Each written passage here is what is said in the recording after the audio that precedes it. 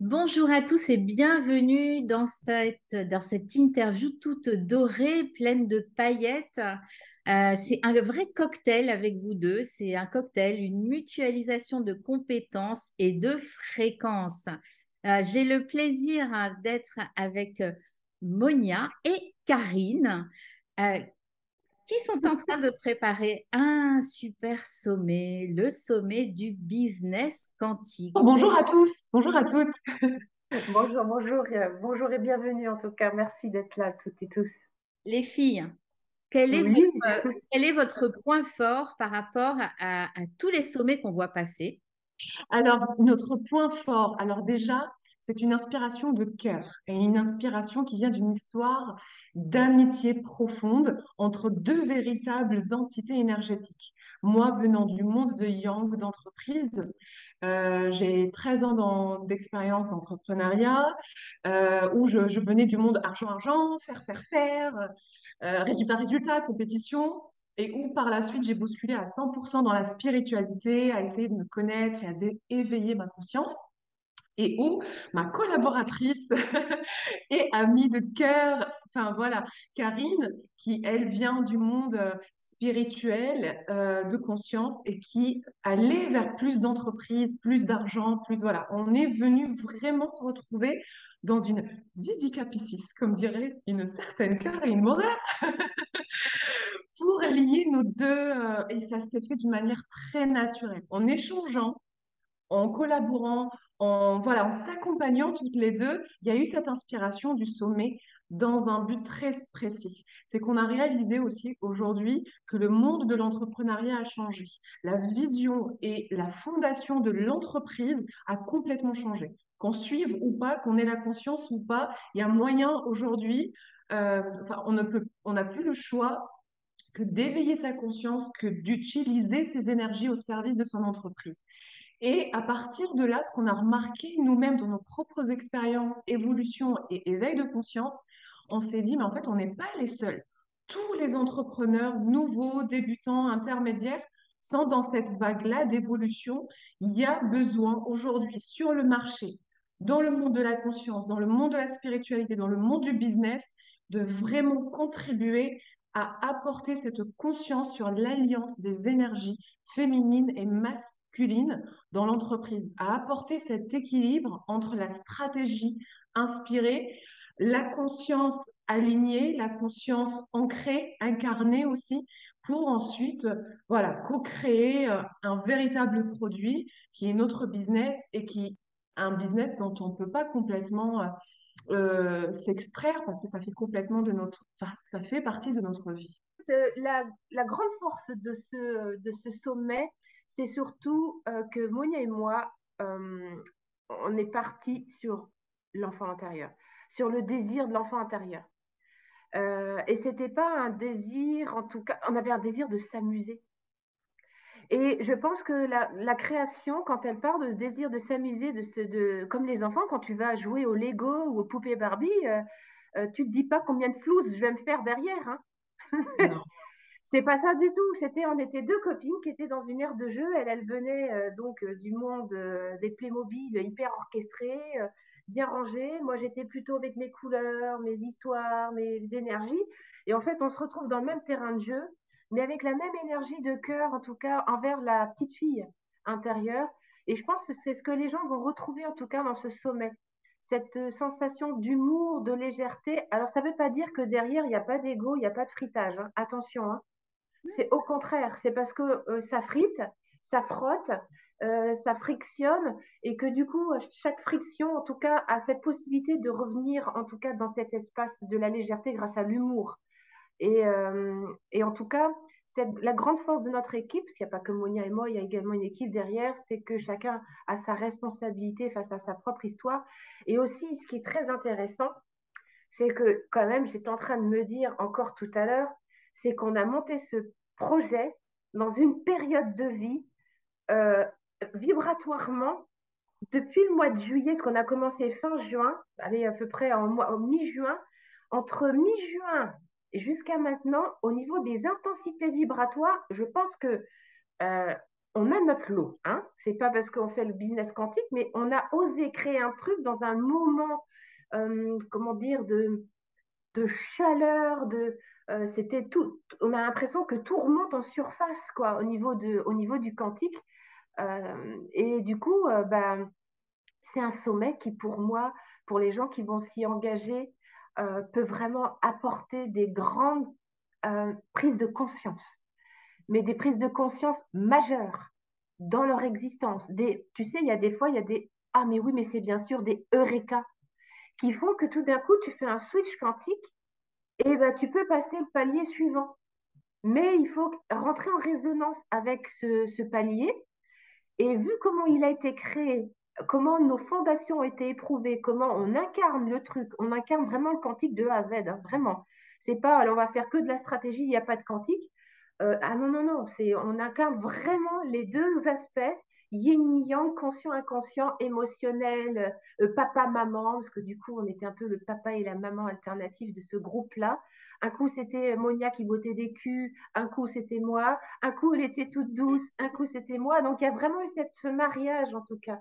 Donc, c'est ce que les gens vont ressentir, c'est comment cette alliance est possible. Voilà. Ok. Et donc, il y a des invités, en fait, des intervenants euh, prestigieux, surtout très expérimentés, euh, qui ont eux-mêmes un, business euh, qui roule et qui vont donc apporter, qui donc travaillent en conscience, qui sont alignés cœur, corps, esprit avec leur business, qui vont donner des, des, des conférences à, qui, ça s'adresse? C'est-à-dire, est-ce que c'est des personnes qui sont en train de démarrer une entreprise? Est-ce que c'est des personnes qui sont euh, qui stagnent? Est-ce que c'est des personnes qui ont envie de, euh, d'évoluer, de, développer leur entreprise un peu plus? À qui ça s'adresse? En fait, euh, ça s'adresse vraiment à tout entrepreneur débutant, intermédiaire, confirmé, quel que soit le domaine, quel que soit l'âge et le nombre d'années d'expérience, euh, à un moment donné, où il y a stagnation, où il y a déséquilibre, où il y a remise en question. Enfin voilà, il y a, y y a un point, il y a un carrefour où on se dit, où j'ai besoin de, changer euh, de, modèle économique, d'équipe, de me développer, d'augmenter mon chiffre d'affaires, euh, de passer sur un autre niveau. Moi, je travaillais beaucoup en offline il n'y a pas très longtemps. Euh, sur du, des contrats directs physiques. Je suis passée en ligne, j'ai changé mon modèle économique, je suis passée en ligne il y a encore quatre mois. Euh, mes tarifs ont changé, alors que j'ai 13 ans d'expérience en entrepreneuriat. Donc, ça dépend en fait, ça dépend des expériences des uns et des autres. Donc, chaque humain, femme ou homme, euh, de 20, 25 ans à 65 ans, voilà, qui soit débutant, intermédiaire, dirigeant, CEO, euh, avec ou sans équipe, sont concernés parce que ça touche l'humain. Je dis souvent, oui, je dis souvent, moi je travaille, je, ne coache pas des machines, je travaille l'humain.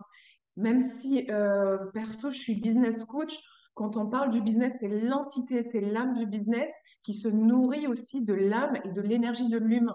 Donc, que ce soit nos, nos équipes, nos collaborateurs, notre chiffre d'affaires, euh, même la structure physique d'une entreprise, ben, en fait, elle se nourrit directement de l'énergie, donc du travail qu'on fait sur soi. Ça, c'est absolument ça. Il n'y a pas de notion de niveau, d'avoir atteint certaines choses.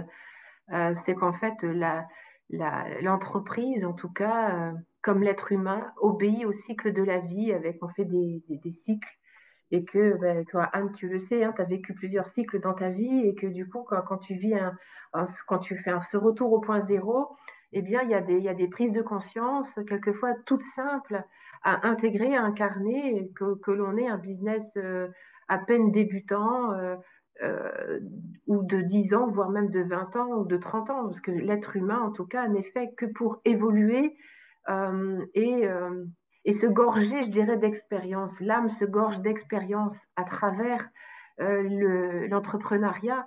et euh, il y a toujours quelque chose, en tout cas, à découvrir de soi à travers cette expérience-là. C'est vraiment des, clés majeures pour, euh, pour comprendre, en tout cas, cette alliance entre la stratégie, le, fait de poser des actions et, et, et, qui je suis en tant qu'être humain, quoi quelles sont mes zones d'ombre, quelles sont mes croyances limitantes. Et, en fait, ça, ça concerne tout le monde.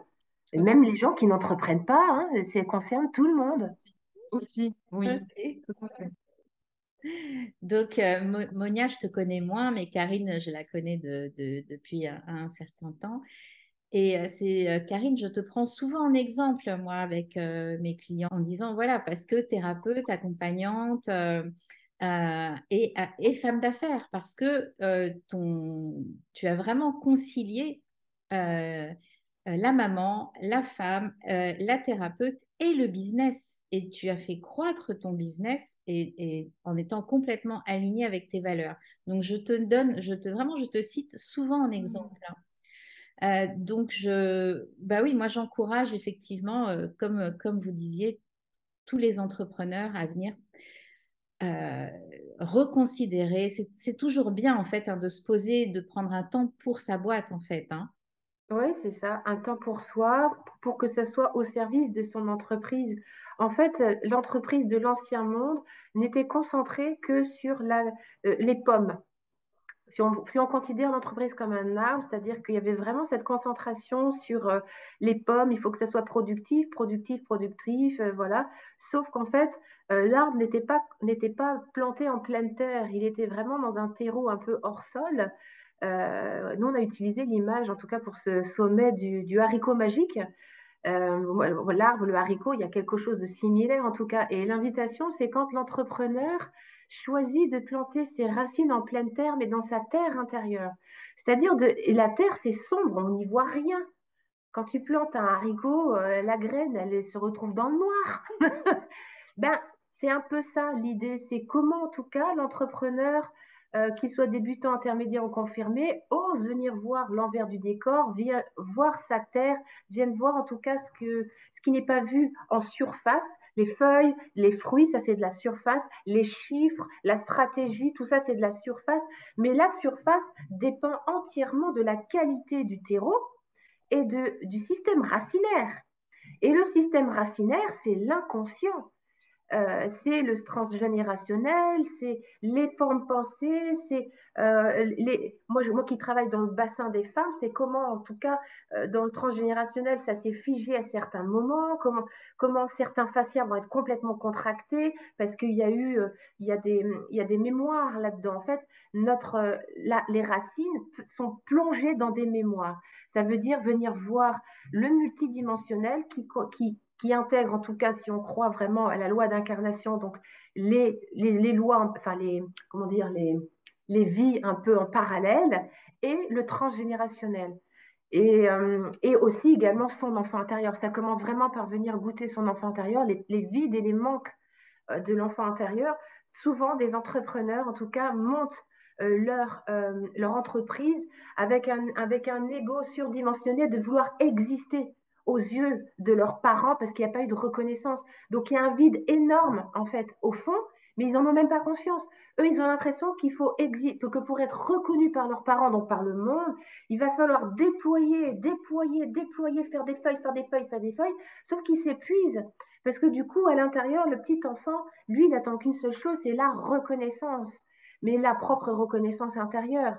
Et c'est vraiment une, ce chemin vers les racines qui est intéressant en tout cas de, de, pouvoir s'autoriser en tant qu'entrepreneur pour mm. que du coup ces fruits, ces feuilles, eh bien, soient gorgés de jus, mais un jus qui soit goûtu. Euh, tu as déjà mangé une tomate en hors-sol, ça n'a rien à voir avec une tomate de mon jardin dans lequel j'aurais mis du fumier. Hein. Ben, c'est la même chose. Et on peut comparer vraiment la production de l'entreprise avec vraiment le, jardin, le fait de cultiver des légumes.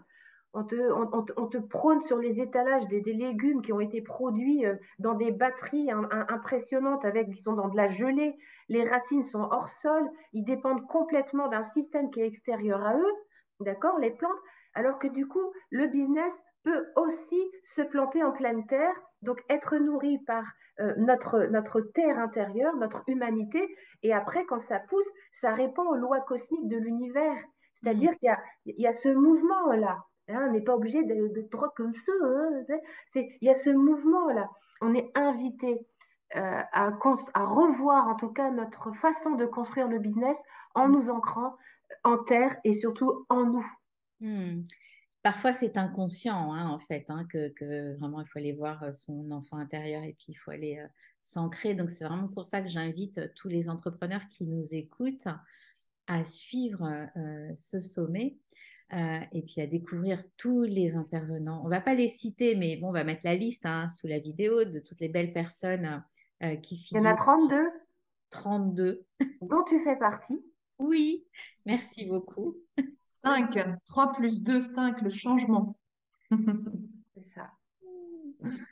Et donc, euh, suite au sommet, vous proposerez aussi une masterclass ensemble. Et on a été inspiré justement pour, euh, pour proposer une très très belle valeur, donc une masterclass de quatre soirées, deux soirées proposées par Karine, deux par moi-même, et on a suivi le même, euh, la même philosophie, le même, la même énergétique de la création de ce sommet, c'est-à-dire voilà, compléter yin-yang à chaque fois.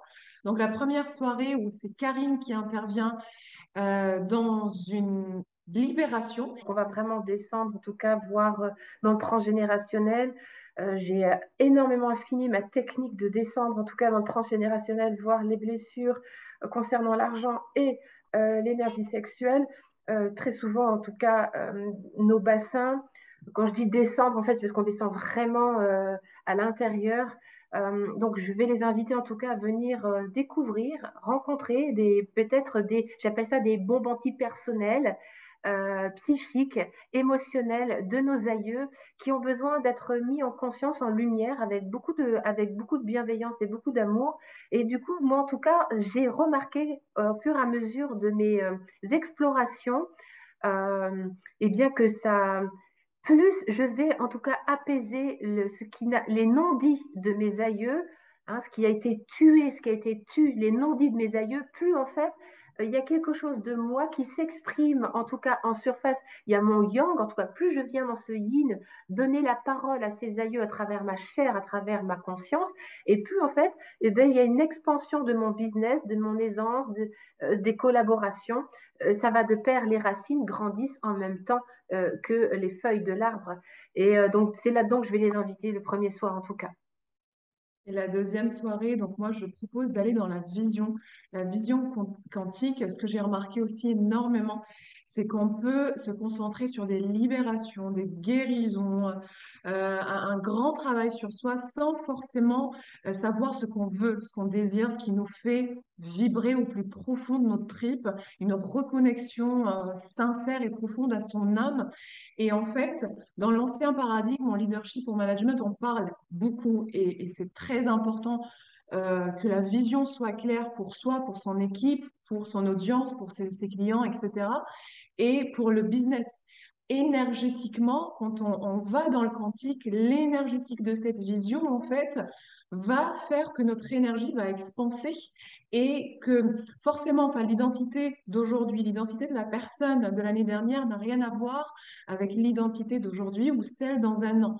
Donc, comment justement vivre cette évolution en conscience et avoir une vision claire? Parce que quand on a des challenges, quand on a un manque de communication, quand on a des, des, obstacles, ce qui est normal, c'est le cycle de la vie qui viennent, que ce soit personnellement ou professionnellement, c'est la vision qui porte l'énergie de, de, toutes les, petites choses positives ou moins positives qui, peuvent se produire.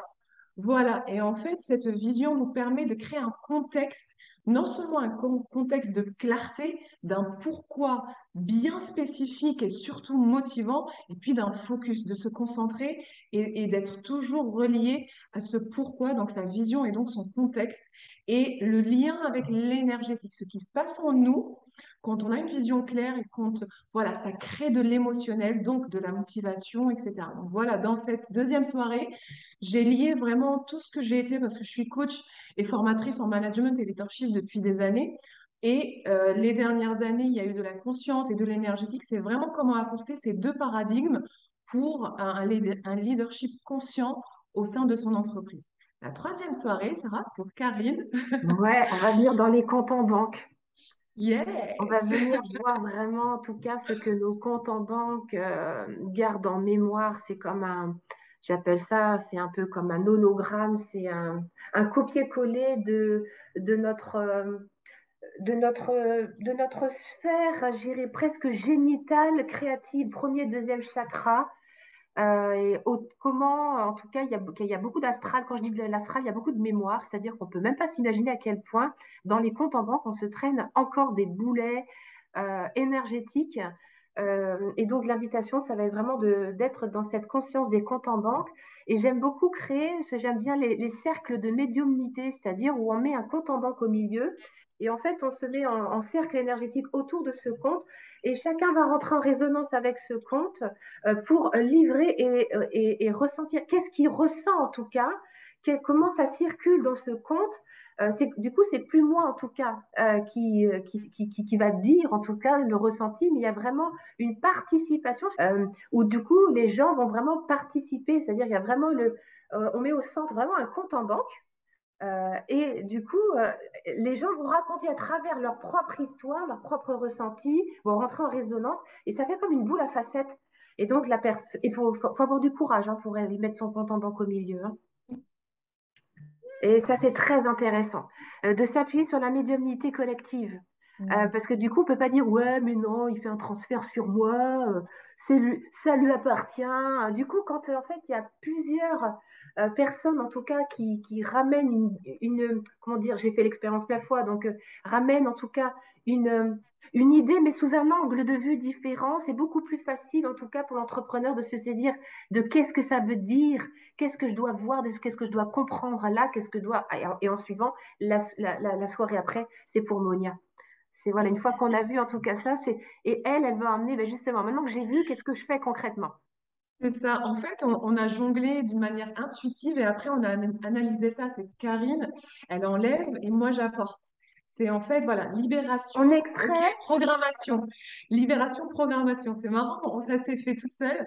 Et en fait, la quatrième soirée, ça va être vraiment maîtriser l'énergétique de la vente. C'est, euh, voilà, comment dans le quantique contacter ses clients qui sont ces clients, pourquoi j'ai envie de travailler avec tel type de client, quelle est mon émotion avec mes clients, comment je les vois, euh, quelles sont mes croyances, mon énergétique, qu'est-ce que ça me fait de, penser ou de parler en termes de vente, quelle est ma situation, euh, quelle est ma situation, parce que qui dit désastralisation du compte bancaire dit argent, pour remplir le compte bancaire, il faut des clients. Donc voilà, c'est vraiment toute cette énergétique et cette conscience au niveau du quantique et au niveau de, de l'humain, de ses croyances, de sa perception et, de ce qu'il renvoie euh, quand il est dans une relation de vente, que ce soit en ligne, par écrit, par vidéo, par téléphone, etc.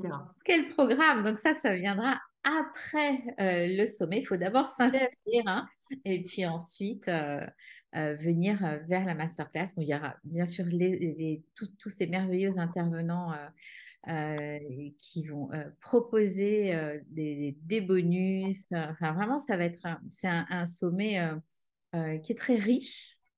il y a plein de masterclass. C'est énorme ce qu'il y a dedans.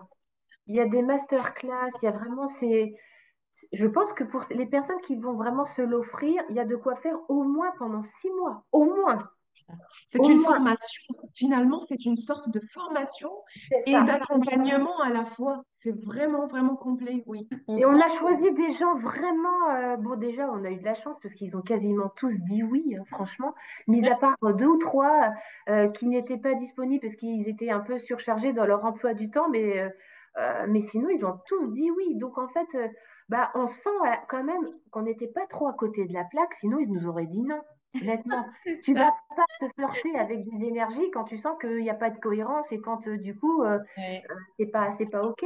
Tous ils m'ont dit, en tout cas ceux que j'ai interviewés, que quand ils sont rentrés en résonance avec notre énergie, la vidéo de présentation, ce qu'on a, euh, le, copywriting qu'on leur a proposé, c'était juste un immense oui, quoi. Ah, c'est vrai. Bah, en fait, ils ont senti, avec Karine, quand on a commencé ce projet, il y a eu beaucoup d'amour, beaucoup de joie, beaucoup de conscience. Il y avait une fondation assez intéressante. On a travaillé que toutes les deux dans un premier temps pour poser les intentions, les vibrations, la vision, euh, ça a été vraiment voilà, une très très bonne base et, et, on se sentait vraiment vraiment bien.